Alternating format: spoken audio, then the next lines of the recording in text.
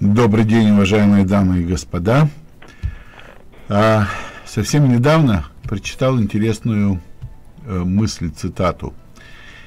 Если история вас ничему не учит, значит вы ее слишком плохо знаете. И вот именно с этими пробелами нам помогает справиться авторская программа Яна Йофа «Странички истории». Сегодня у нас вот такая встреча с э, нашим уважаемым Яном, который у нас на связи. Ян, добрый день, здравствуйте. Добрый день, Анатолий. Добрый день, радиослушатели. Вообще первая неделя июня, исторический календарь, конечно, событий очень-очень много. Э, если вы помните, 6 июня, э, это был 62 год, это прошло уже 52 года э, с начала э, победоносной израильской шестидневной войны – Завтра, 5 июня, годовщина смерти Рейгана. Так уже вот быстро прошло 15 лет. Есть еще одна памятная дата. 4 июня 1987 года. Тогда Рейган произнес у Броденбургских ворот в Берлине речь, которая оказалась пророческой.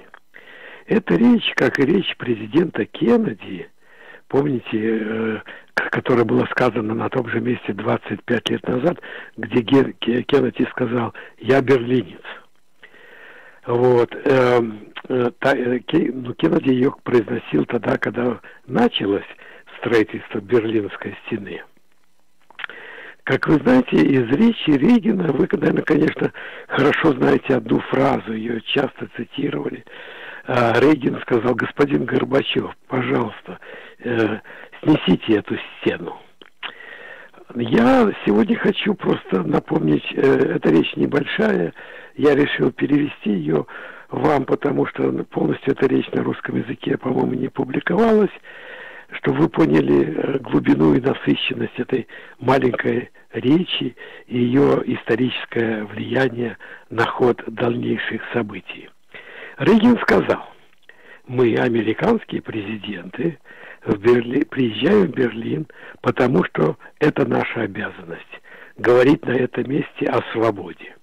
Я, как и другие президенты передо мной, пришел сюда сегодня потому, что куда бы я ни ездил, что бы я ни делал, noch einen uh, in Berlin. Я все еще имею чемодан в Берлине. Для тех, кто слушает меня в Восточном Берлине – хочу сказать следующее. Я обращаюсь к вам, как и к тем, кто стоит передо мною. Я присоединяюсь к вам и тем, кто живет на Западе с твердой и неизменной верой. Es gibt nur ein Berlin. Существует только один Берлин. Те, кто сегодня собрался перед Бранденбургскими воротами, каждый житель Германии разделен этой стеной. Ваш канцлер сказал, немецкий вопрос будет открыт так же долго, пока Бранденбургские ворота будут закрыты. Я говорю вам, это не только германский вопрос, это вопрос свободы для всего человечества. Я не приехал сюда причитать. Я нашел в Берлине надежду, даже в тени этой стены. Сорок лет назад город был полностью разрушен. Сегодня Западный Берлин, процветающий город, из развалин вы, берлинцы, благодаря свободе построили новый город, один из лучших на земле. В 50-е годы, в 50-е годы Хрущев предсказывал, мы похороним вас. Но сегодня мы видим в лице Запада, как свободный мир – достиг уровень процветания беспрецедентного в истории человечества. В коммунистическом мире мы видим неудачу, технологическое отставание, низкий уровень здравоохранения и нехватка самых простых вещей, включая еду. Советский Союз не может прокормить себя. можно сделать только один вывод. Свобода ведет к процветанию. Свобода побеждает.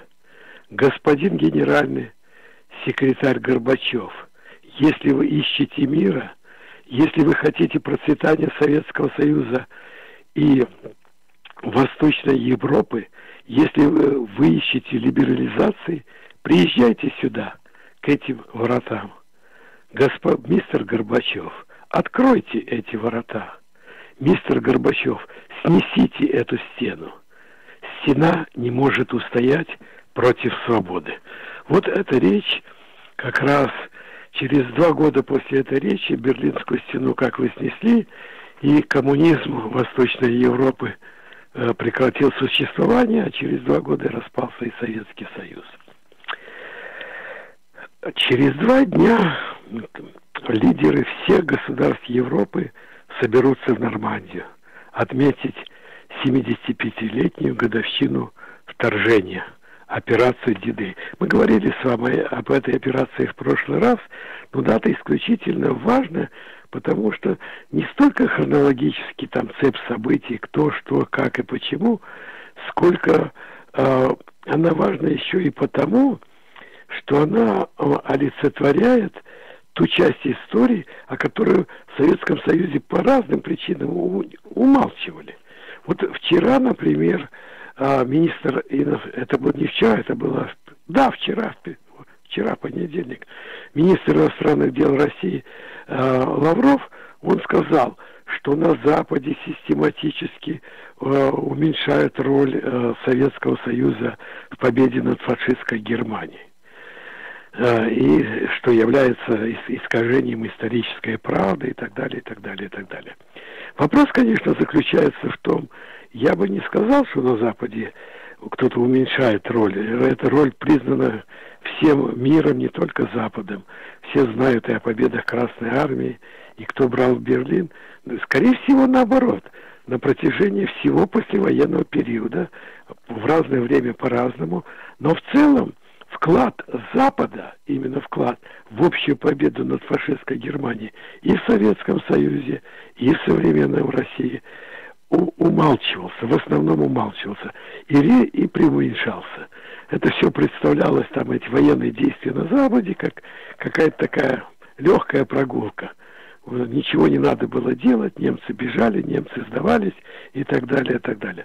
Цифры, конечно, мы сейчас немножко об этом подробнее поговорим, они говорят об, об обратном.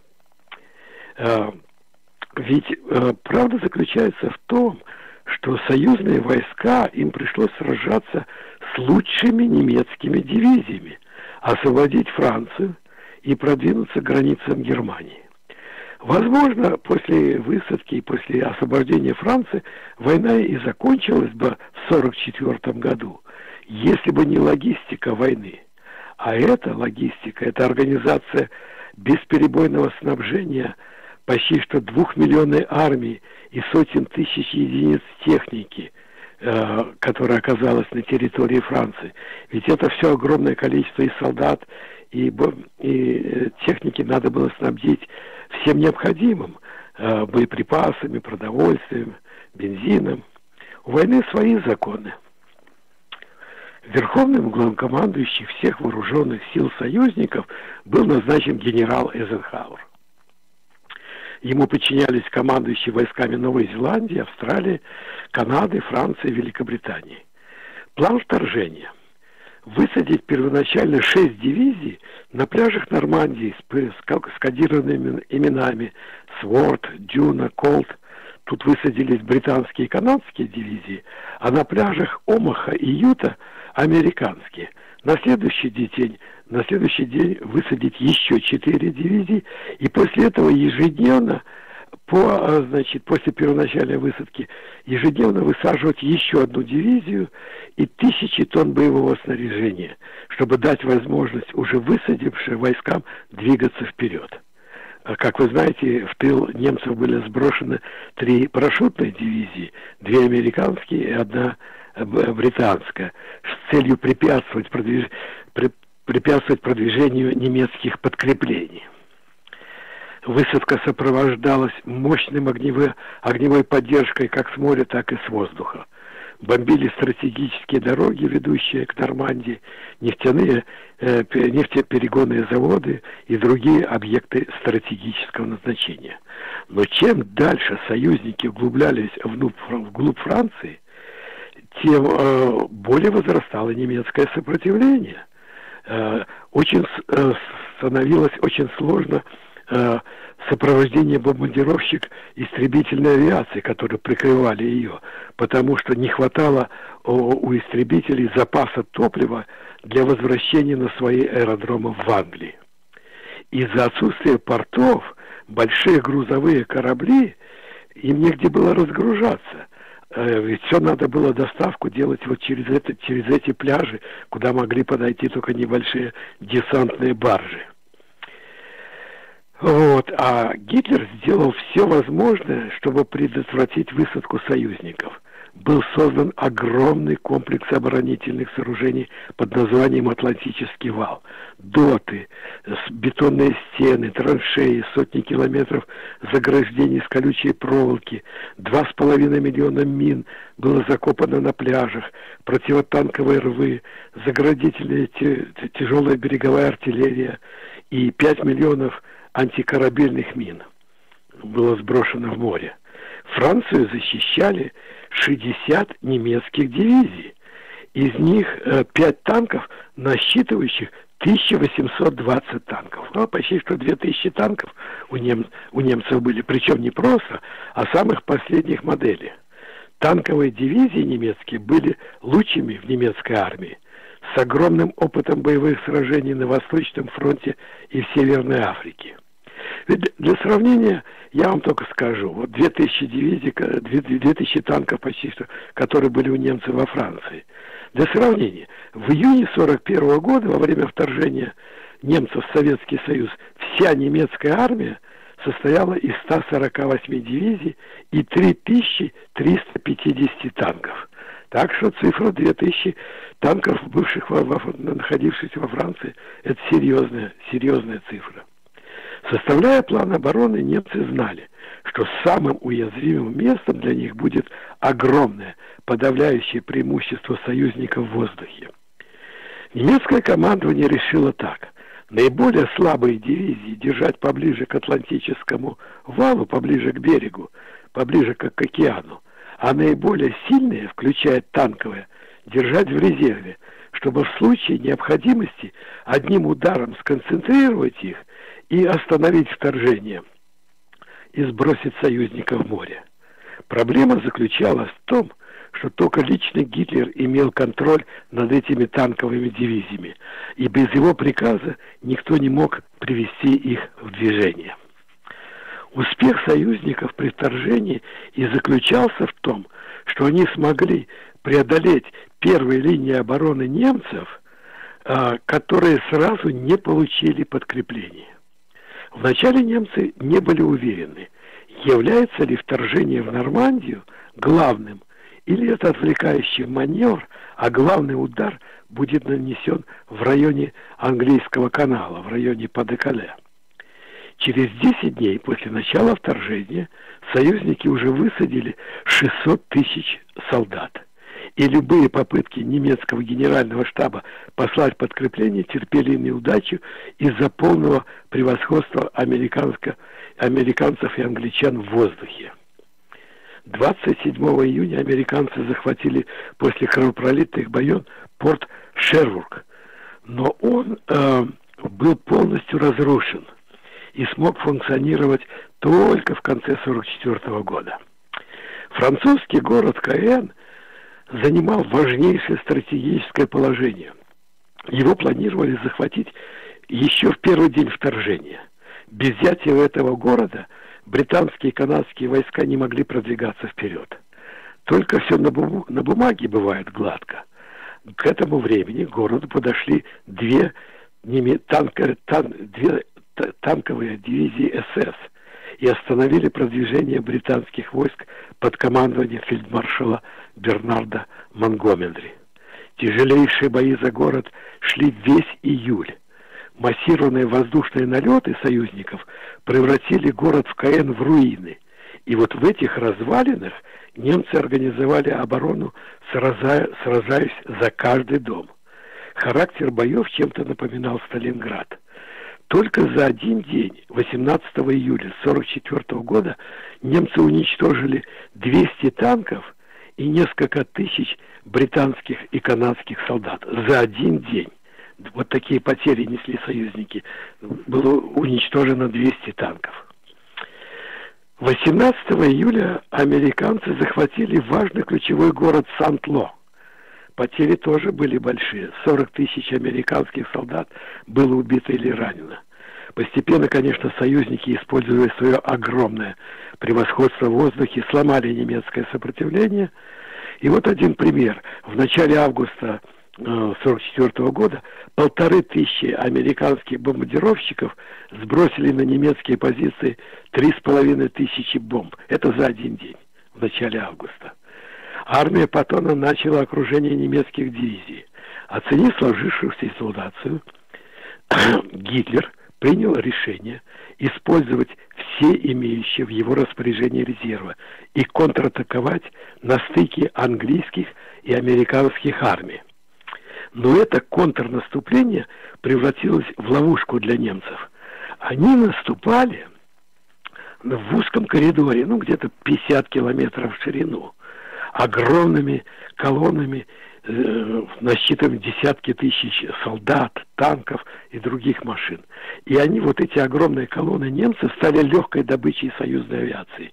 Немецкие колонны превратились в толпы отступающих и спасающих свои жизни солдат.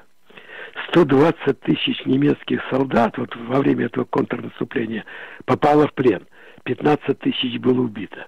К концу июня было уничтожено 50 немецких дивизий. Оставалось 10. Но их судьба тоже уже была предопределена. 25 августа союзники освободили Париж. К этому времени немцы уже потеряли полмиллиона солдат. Конечно, э, когда-нибудь мы более подробно вообще расскажем, э, я хотел бы вам рассказать о ходе боевых действий э, вот за оставшиеся 9 месяцев войны и кровопролитном сражении в Орденах зимой 44-45 года.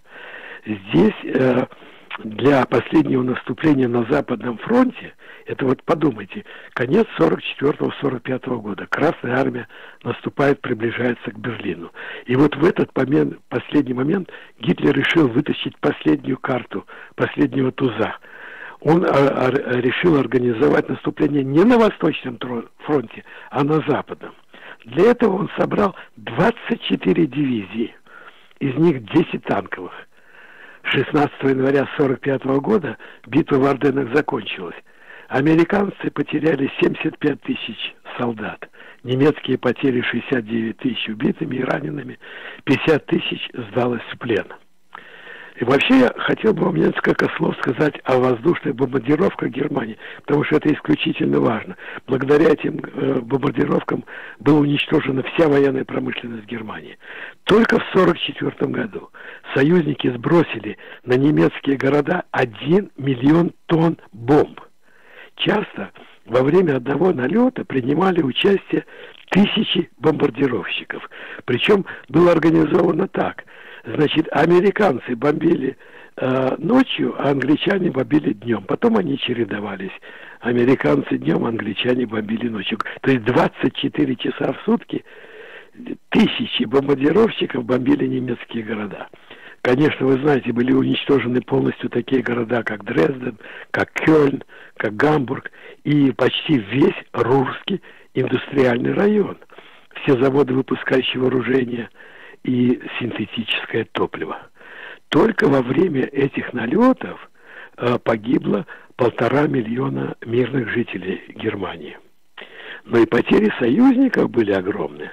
В 1944 году англо-американские войска теряли 600 тяжелых бомбардировщиков в небе над Германией. Вот э, за это время бомбардировок, за все время, погибло более, ну, где-то около 100 тысяч человек. В одних источниках называется 60 тысяч летчиков, но вместе с, с членами экипажа, бомбардировщиками, эта цифра приближается к 100 тысячам. Вот, вот такие потери были во время налета на немецкие города. Наступил 45 год. Последние судороги Германии и Германии на Западном фронте. Контрнаступлении на Страсбурге немцы потеряли 25 тысяч человек, союзники 16 тысяч. О размерах любой операции лучше всего, конечно, говорят цифры. Хотя их много, и они трудно запоминаются, но вы должны просто понять масштабы, что это не была легкая прогулка, это были тяжелейшие бои на всех, на всех фронтах. Но, ну, и представьте себе масштабы, что когда уже э, союзники вышли к Рейну, то при наведении понтонных мостов через Рейн фельдмаршал Монгомери использовал 60 тысяч инженерных войск, и понадобилось 250 тысяч тонн разного вида материалов и снаряжения, чтобы навести понтонные мосты для, переправ... для переправки английской и американской армии через Рейн.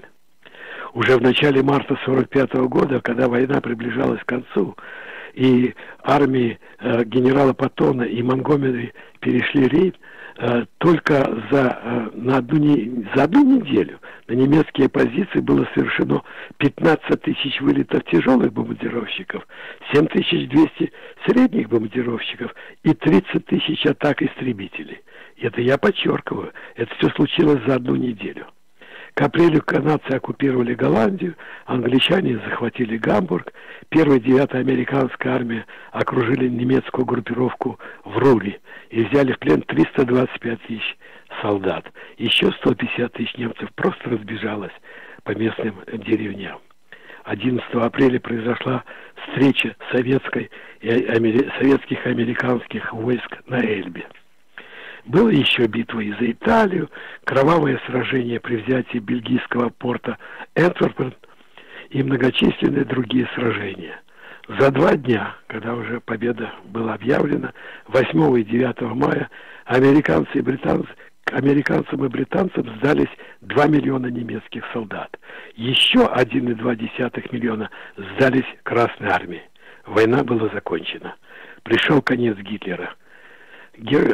Пришел конец Гитлера, пришел конец гитлеровской Германии, пришел конец наци... нацизму.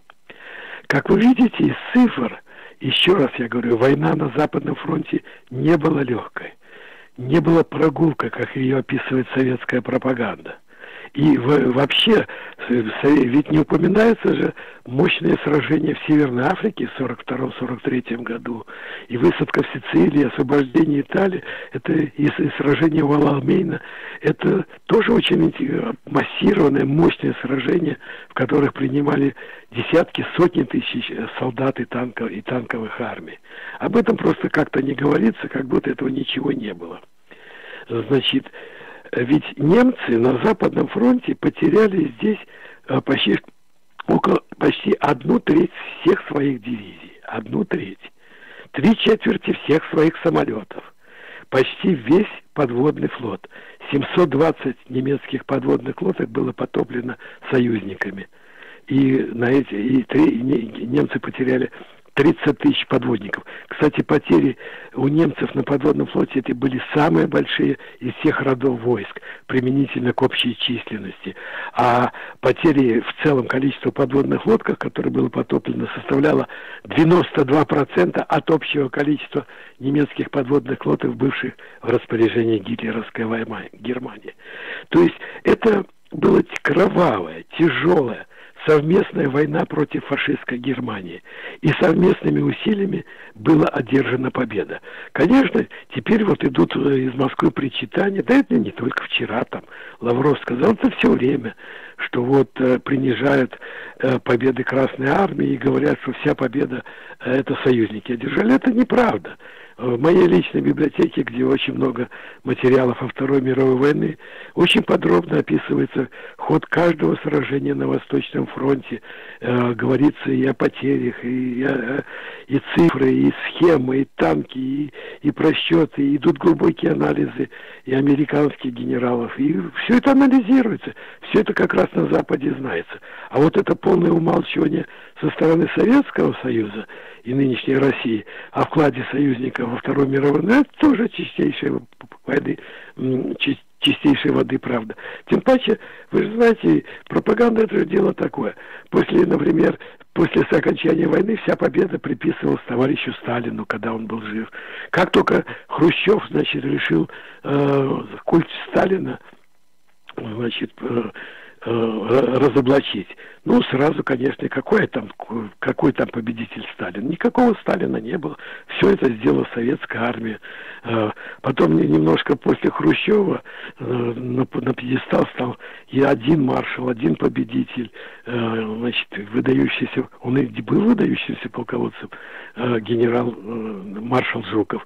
Но и опять там у него и свои, как у любого генерала, у любого маршала, никто, никто там не безупречен. Это война, это тяжелая и кровавая. Об этом можно говорить с утра до вечера. Но вопрос заключается в том, но когда надо было Жукова, значит, принизить, когда Хрущев это, и принизили Жукова. Потом э, прошло опять время, опять стали возвеличивать Жукова. Но сейчас опять немножко Жукова, немножко в России, если кто внимательно следит, его немножко поменьше культ. А сейчас уже э, возрастает э, культ личности Сталина. Значит, а Сталин выходит опять на первое место как победитель. Вот что такое, вот что такое искажение так называемой исторической правды. Вместо спокойного, объективного анализа истории, кто куда где кто внес свой вклад, идет, э, это вот такая вот нехорошая привычка идеологи, э, делать историю, больше придавать какой-то ей план идеологии. Сегодня одно, завтра второе. Сегодня есть великий наследник всех победителей. Он не такой, конечно, орденоносный, как, Мар, как товарищ Брежнев, но Путин является полным наследником всех этих побед. Но об этом совсем э, другая, другая часть. Я хотел бы вам сегодня сказать вот о чем. Я э, в прошлый раз совершенно пропустил, но хочу это восполнить. Но кто же командовал э, войсками союзников? Кто привел их к победе? Начнем с главнокомандующего. Дуайт Эзенхауэр, главнокомандующий. Он родился 14 октября 1890 года, умер 28 марта 1969. Он принимал участие в двух крупнейших операциях союзников.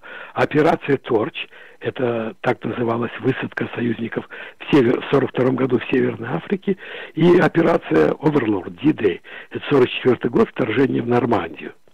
Эйзенхауэр – один из пяти американских генералов, который имеет на погонах пять генеральских звездочек. Э, вы знаете, в американской армии нет звания маршал, и пять звездочек генерал – это самое высокое звание э, у, в американской армии. Так вот, таких генералов за всю историю Второй мировой войны у американцев всего было пять. Один из них был Эйзенхауэр. Э, он, он закончил известную американскую военную академию Вестпойнт в 1915 году. И в 30-е значит, годы он служил офицером э, в штабе генерала МакАртура. А вот когда началась Вторая мировая война, он был только майором. Так что это абсолютно уникальный случай. Э, Эйзенхауэр начал войну, Вторую мировую войну майором, а закончил ее э, пятизвездочным американским генералом, командующими всеми войсками союзников. Это, пожалуй, единственный офицер, который совершил вот такую головокружительную карьеру. Вот. Он э, характериз... У него... Он... Все, кто с ним работал, отличали его э, великолепно обширные знания и военные, и общее знание. Он отличался э, выдержкой характера, умением принимать оперативно, э, оперативные решения, сильнейшие решения. Он э, привлек внимание начальника генерального штаба американской армии Джорджа Маршалла, который его назначил на высокую э, штабную должность в 1942 году. И неожиданно его назначили командовать всеми американскими армиями. Э, после этого на, на, театре, на на всем театре войны. Перед этим он, кстати, был главнокомандующим американской высадкой в Африке. Так что, несмотря на отсутствие боевого опыта, он умело провел высадку э, союзников в Северной Африке. Он показал свое стратегическое политическое мастерство, которое требовало такая должность. А, значит, Эйзенхауэр командовал э, американской армией при вторжении в Сицилию и Италию, а вот в январе 1944 года он и получил эту высшую должность. Верховный главнокомандующий всех вооруженных сил союзников. До конца военной кампании в Европе Эйзенхауэр приложил все свое мастерство для сглаживающих и возникающих оперативных конфликтов между английскими и американскими генералами. Даже в телейшие дни сражения в Орденах он увидел возможности для разгрома врага. После войны э, он стал начальником генерального штаба э, американской армии, а затем главкомандующим НАТО и был два срока президентом Соединенных Штатов с 53 по 61 год. С именем, с именем Эйзенхауэра связано эффективное лидерство и руководство в военное время и во время президентства – Одним из самых выдающихся достижений Эйзенхауэра на посту президента стал его закон о создании в Америке междуштатной системы хайвеев, когда было построено тысячи миль скоростных дорог, которыми мы с вами пользуемся до сегодняшнего дня. Пришло время для небольшого перерыва и продолжим. Присоединяйтесь к нам. Уважаемые друзья, мы возвращаемся в программу Яна Йоффе «Странички истории». А, в этом сегменте, как всегда, а, Ян э, согласился принять ваши звонки, постарается ответить на ваши вопросы. Номер телефона в студии 847 400 5200. Ян, прошу вас, я вам дам знать, как только появятся звонки. Спасибо. Еще один выдающийся американский пятизвездочный генерал Амар Брэдли – он родился 12 февраля 1893 года, умер 8 апреля 1981. Основные сражения, в которых он принимал участие, Сицилия в 1943 году, Нормандия в 1944 году, Ордены в 1944-1945 год. Как и Эйзенхауэр, он окончил военную академию Вест-Пойнт в 1915 году. К началу Второй мировой войны он уже был бригадным генералом – в начале 43-го его послали в Северную Африку на помощь Эйзенхауэру. Эта кампания принесла американским генералам много боевого опыта. Из необученной, необстрелянной армии новобранцев э, американская армия превратилась в серьезную боевую машину. Как говорил сам Брэдли, здесь, в Северной Африке, мы научились ползать, ходить и наступать. Ян, прошу время... прощения, если вы позволите, я бы принял да, Да, давайте, давайте. Добрый а, день, вы в эфире. Я как раз... У меня слышно? Да-да, говорите, пожалуйста. У меня по этой тематике как раз к, Яну Офе э, вопрос. Я очень много интересовался и интересуюсь, и знаю, и согласен с, с многими цифрами, которые, теми цифрами, которые Ян приводил. Значит, а, в России они приняли закон о том, что значит, э, препятствование фальсификации истории. По существу это закон об э, о продолжении фальсификации истории. Вот так надо его назвать. То есть они хотят сохранить ту фальсификацию, которую длительное время навязывали. Но это вот а, такое. Второе, с самого начала а, так называемая Великая Отечественная война, вырванная из контекста Второй мировой войны, названа неправильно. Советский Союз никогда не воевал с фашистской Германией. В своей истории. Советский Союз воевал с нацистской Германией. А это две большие разницы.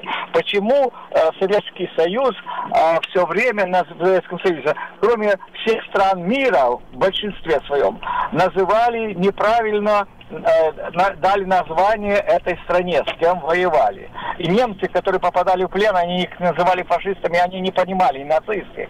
Вот это вот ваша точка зрения. Моя в том плане, что э, с фашистским был как раз Советский Сталинский Союз.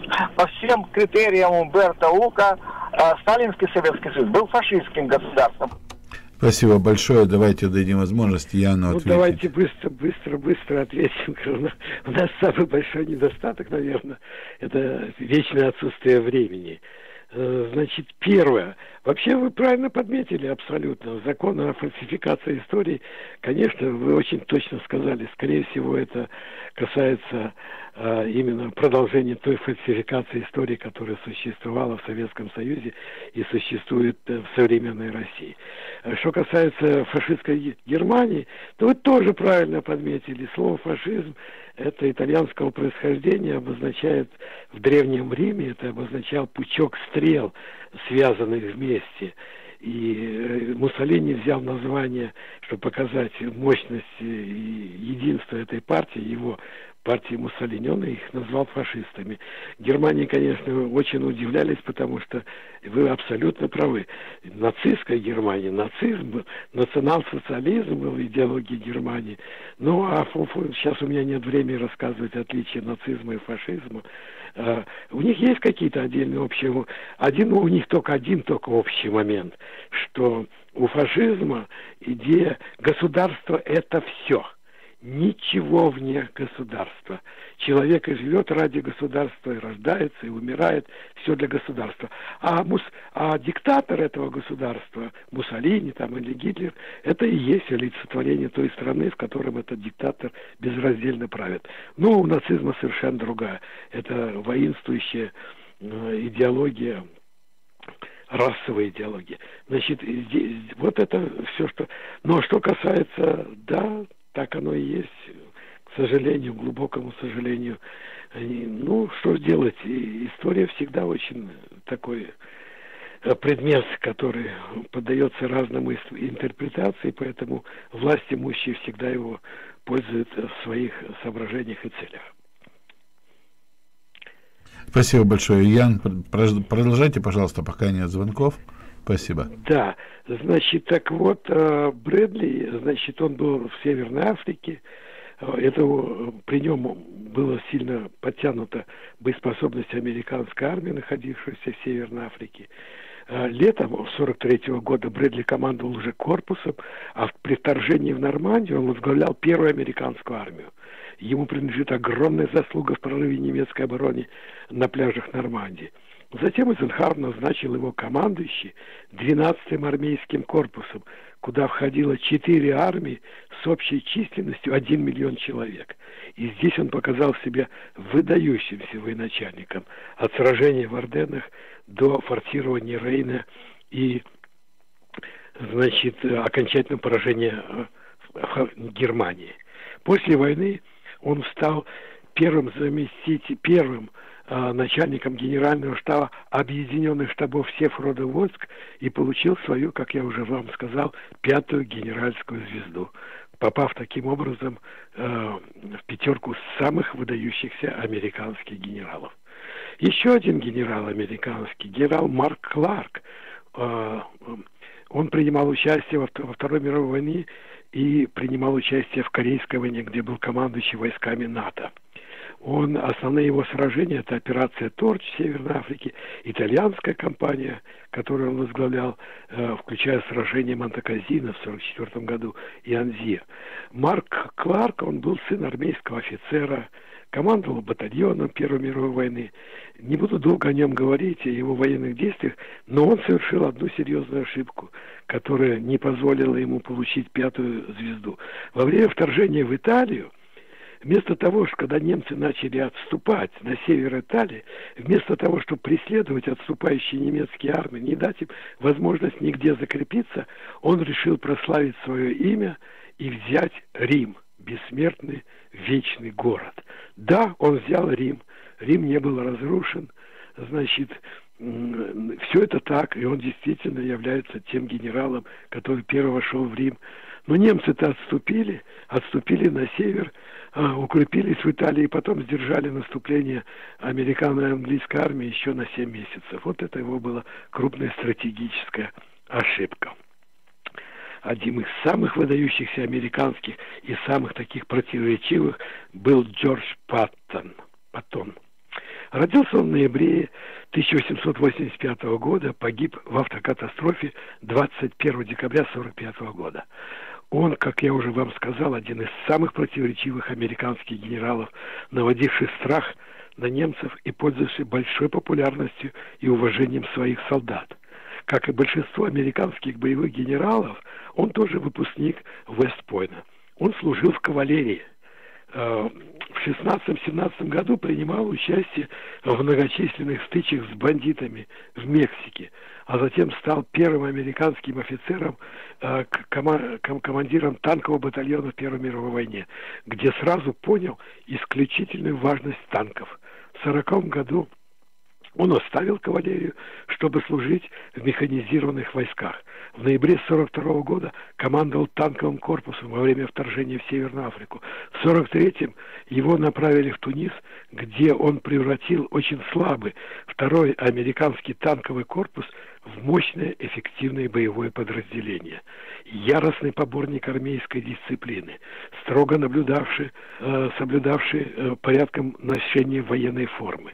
Еще во время кампании в Тунисе, где он впервые встретил британского генерала Бернанда Монгомери, между ними вспыхнули разногласия, трения, которые превратились в личную неприязнь.